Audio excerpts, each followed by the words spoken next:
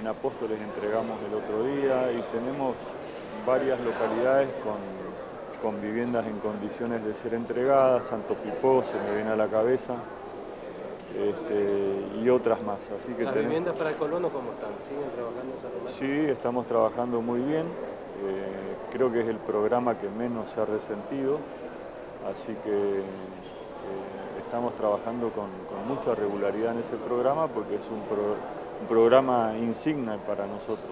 Después de este año de, de crisis y de recesión, la morosidad eh, de, de los, eh, digamos, de la gente que, que ya ha recibido sus casas y está pagando las cuotas, ¿aumentó, se mantuvo en niveles normales? ¿Cómo está la situación hoy? Se mantuvo en los niveles de los años anteriores. Estamos en el orden del 80-83% de, de recupero mensual, que teniendo en cuenta la, la situación este, nos parece este, importante. Bueno, Rosso, es- de público conocimiento, semanas anteriores trascendieron denuncias de funcionarios que lucraban con las viviendas de Proda. Eh, ¿Van a seguir investigando? ¿Cómo se procedió? ¿Qué va a pasar con esas viviendas?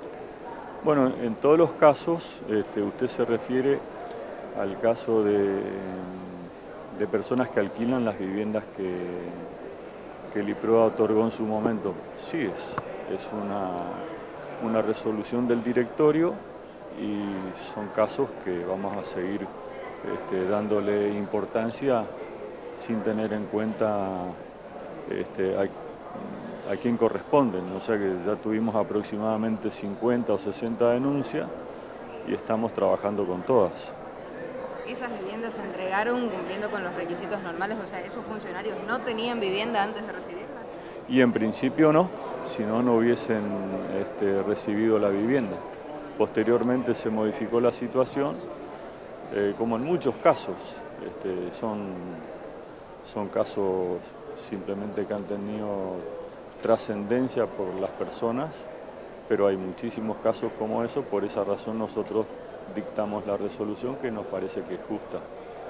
En diciembre si podemos y después vamos a continuar durante febrero, marzo y abril también. ¿Se estima en esta primera etapa cuántas casas se van a entregar? Y ahora estamos hablando de alrededor de 200.